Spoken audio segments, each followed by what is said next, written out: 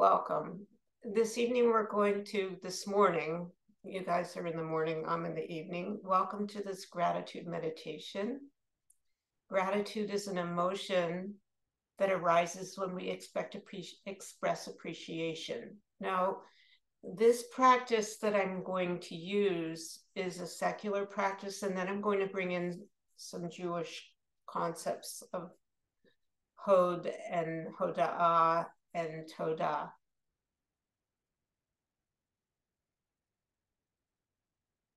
As you settle in, give your body permission to relax, closing your eyes, allowing your limbs to lie limply, your shoulders to drop, your mouth to part, your hips to settle.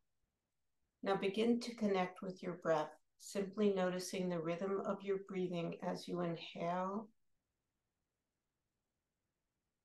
and exhale. As you observe, you may feel that you need to change your breathing. Don't worry about that for now. Simply keep your awareness on your breath.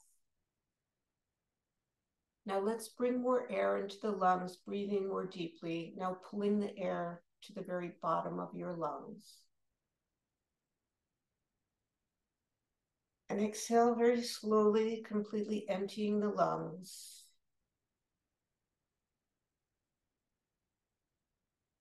Again, inhale deeply and exhale deeply.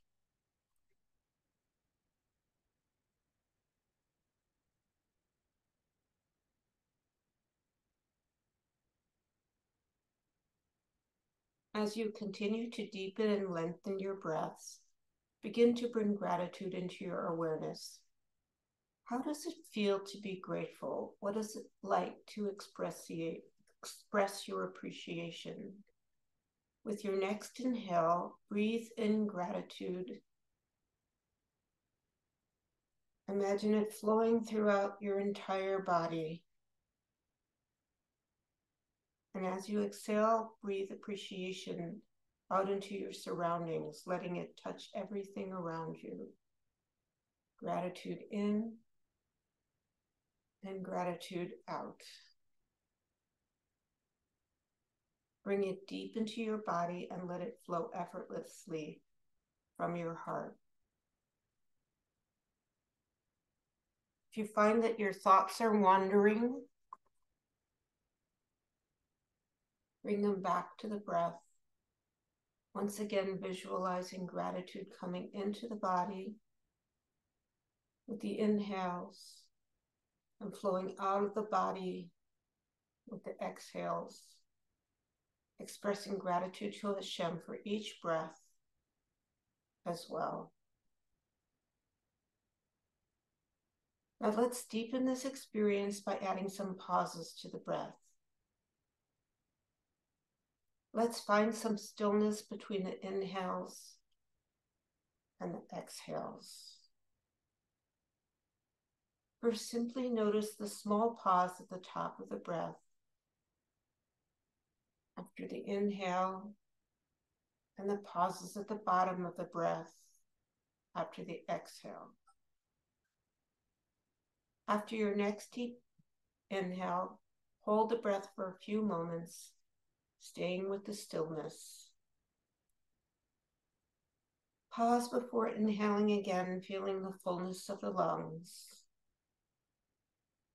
I uh-huh. will count and guide you as you breathe, extending the pauses even further. So inhale, pause, exhale, and pause. Let's go deeper now. Inhale, exhale, pause. And again, inhale, exhale. Inhale. Exhale. Continue practicing this breathing, finding gratitude to Hashem for each breath and the stillness in between them. You don't often get the chance to find stillness with a relaxed body and a calm mind. it's easier to let gratitude in. Simply breathe and experience the sensation of appreciation. Letting gratitude wrap around you like a warm blanket, comfortable, relaxed, and grateful.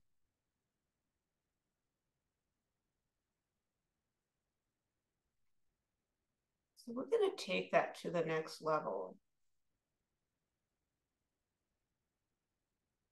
And how hoda'ah and gratitude in this moment is important for us and what that means.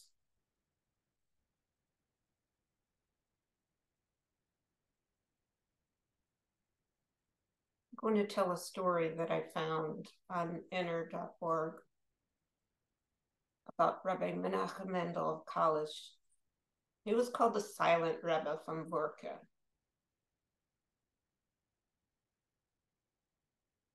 He once looked in the study hall and he couldn't find anyone worthy enough to receive a Devar Torah that he wanted to give. So he went upstairs to his son in law, the holy Rebbe, Rabbi Yaakov Aryeh Abnad Zarin, who was taking a rest. When Rabbi Yaakov Aryeh heard his father in law's footsteps, he got out of bed, and when the Rebbe entered his room, the Rebbe said to his son in law, If you will be a chassid, that is good. If not, I will flick you like a chicken feather that are flicked from the carcass. And that's what he wanted to say over to anyone who was a student, a chassid, somebody who was worthy of receiving his teachings. And there are two main components to the story. The Rebbe's short statement is he was looking, he was searching for a chassid worthy of hearing his Devar Torah. And this is two sides of the Sephira, Sephira of Hod, also known as acknowledgement. The first is the recognition of one's weakness and the need to be attached to Hashem, to a tzaddik, maybe to one's spouse. And it's about attachment. And this is the first explanation of the Sephira, state of thanksgiving to the source that has showered goodness upon us. And this is what the tzaddik was saying of the connection that he was looking for someone who, who he could be connected to. And the second side of the sphere of Hod was he needed someone with enough courage to fully acknowledge the truth. The very existence of such a chassid can't be taken for granted. The body Hod corresponds to the immune system. In the body, Hod corresponds to the immune system. This is the system responsible for defending the body and rejecting foreign identities, entities. So let's enough of that. So let's see where this how this applies. So two sides of Hod, of the sphere of Hod. The first is the recognition of one's weaknesses and the need to be attached. So let's think about what that means to each one of us.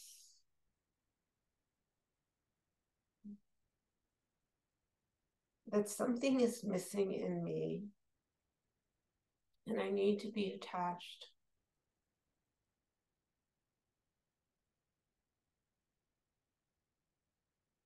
And I need to acknowledge that that attachment is important and valuable.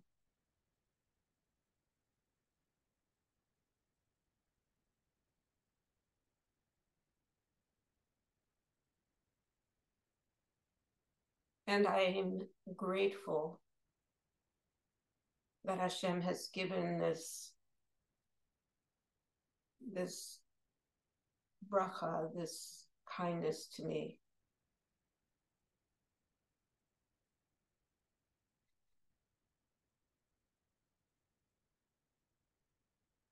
And on a personal level, there are many people who have relatives that were taken. And some of those relatives are now free. And we have gratitude and we feel that acknowledgement and that attachment to Hashem for that connection, for that blessing, that opening up.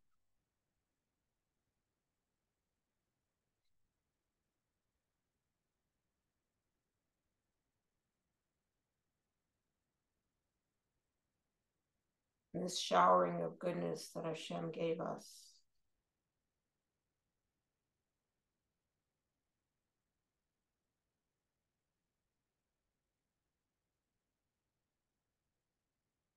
And the second side of Hod is finding the appropriate listener. Are we the Kali? Are we the vessels for that gratitude?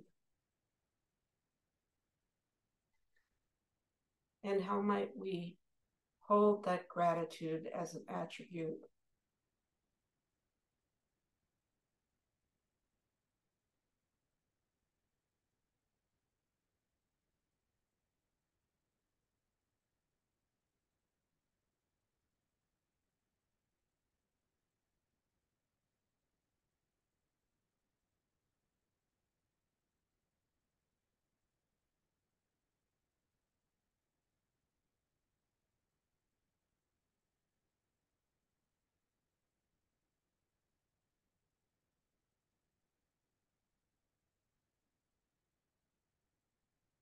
How does that gratitude connect us to the one who is the source of the goodness?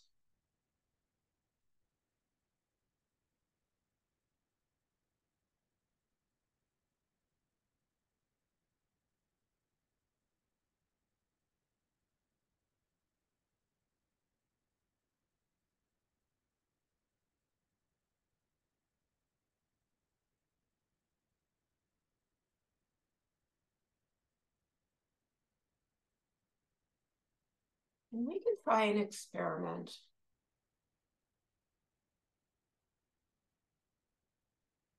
How about if each one of us comes up with three small things that we're grateful for?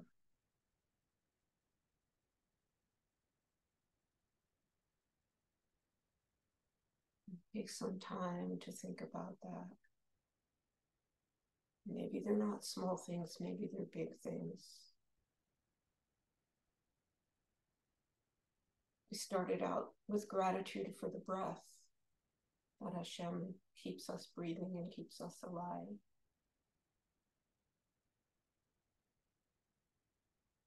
And you might think about gratitude for a place to and the time to sit and reflect and meditate.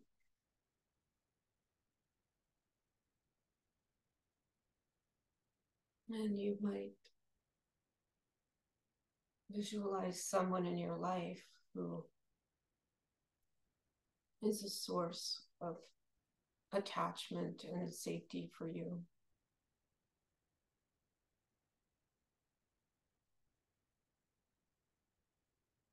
And then taking that next step of Hashem being the source of safety and attachment that Hashem is always there and never leaves us, even when it feels like there's Hester Panim.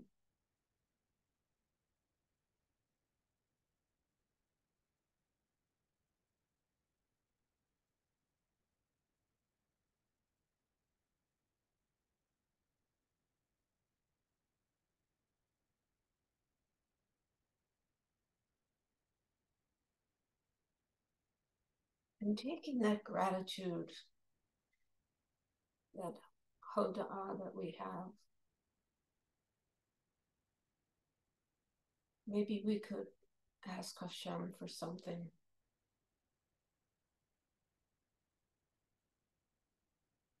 Maybe we've kind of like the Pesukei D'Zimra that you start in the morning with all the praises. And you say the Shema and you express your connection to Hashem. And then you get to the Shemoneh Esrei, where there's a possibility of asking for something. And let's reflect on some things that we need from Hashem.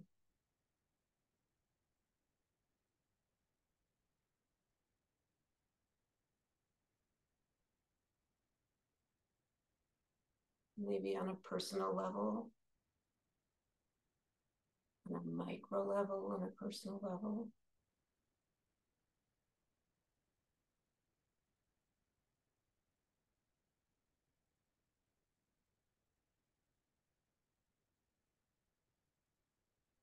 maybe on a local level in your neighborhood or your block. And this is a time where so many people are overextended.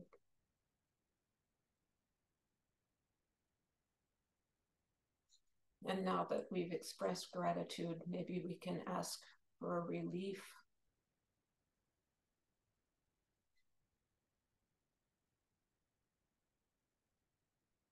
small reliefs, babysitters, a few extra shkalim, or maybe more than a few extra shkalim to cover the bank.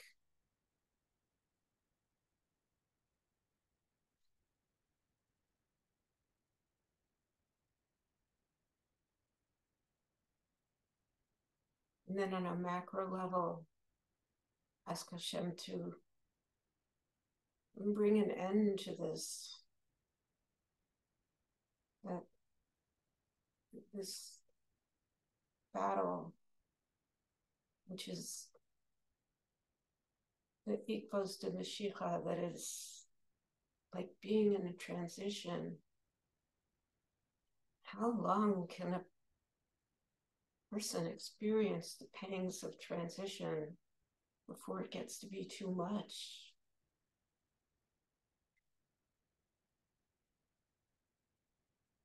We want the baby to come out. We want the Mashiach, the revelation.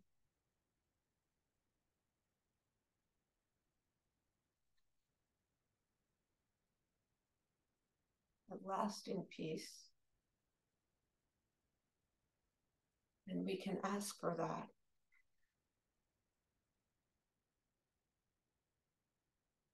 Hashem doesn't always give us what we ask for.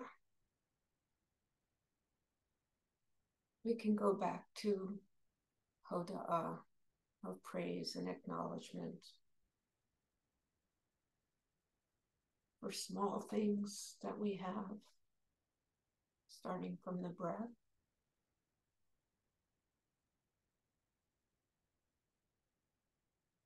To a place to sit and meditate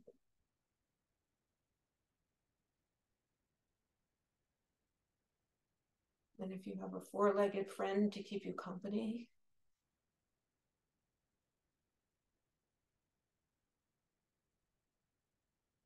and some good friends, connection to each other. thank you, Hashem, for those things. Thank you, Hashem, for the kindnesses that you give us.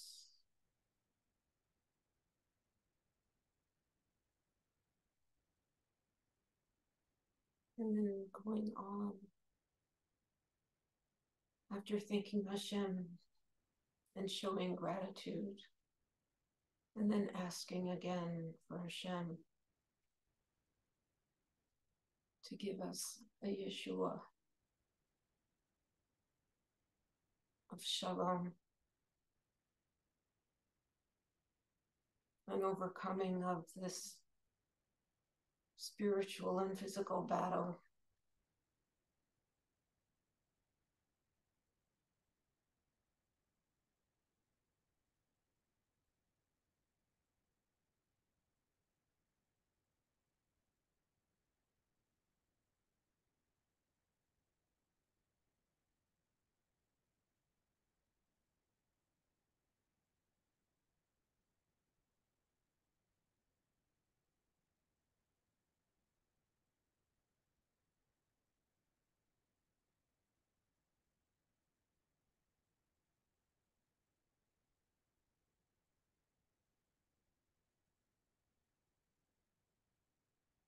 And then coming back to the breath and gratitude for the breath that Hashem supports us and oversees us on this personal level of giving us breath and giving us a body that supports us and gives us access to doing the mitzvahs, the kindnesses for each other.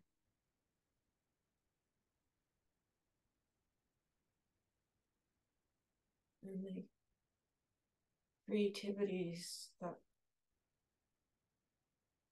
if we can access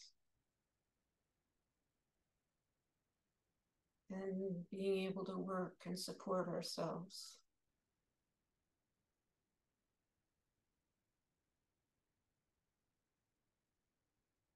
Or whatever other kindnesses that you're noticing.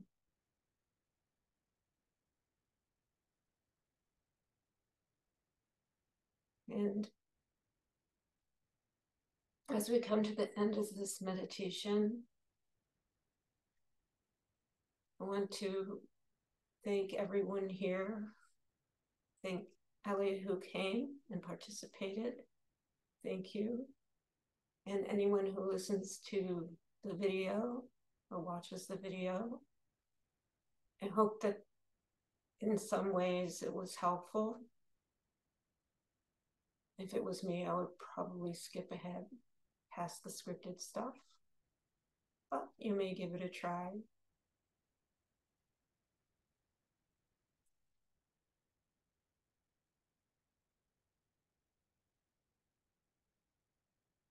And I wish that you will have a good day of bracha and lots of things to be grateful for, and that we should all soon see the permanent Geula. And if we don't see that, then we should at least see a decrease, a decrease in constraint and a freeing of all of the hostages and a freeing of the exiles within each and every one of us that has constraints that that have developed on our talents and our energies. And I wish you all a good day. And for me, since it's night, a good night. Take care.